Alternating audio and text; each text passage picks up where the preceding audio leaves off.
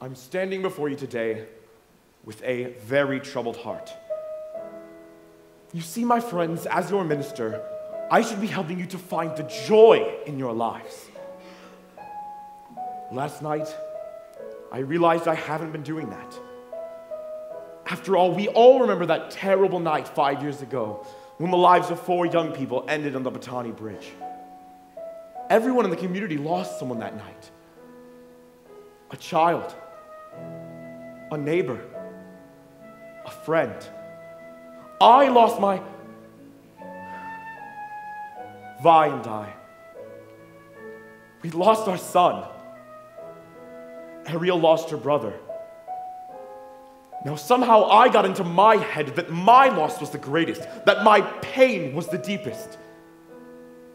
And then, last night, someone much younger than I made me realize how tightly I had been holding on to that memory. A memory that has weighed me down like a great stone.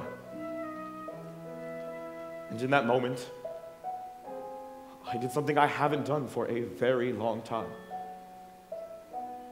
I laid down my burden. And it was a frightening experience, but it was exhilarating. This morning, I offer you the same opportunity. The senior class of Bomont High School has asked permission to hold a dance. Ren, I think that might be a good idea.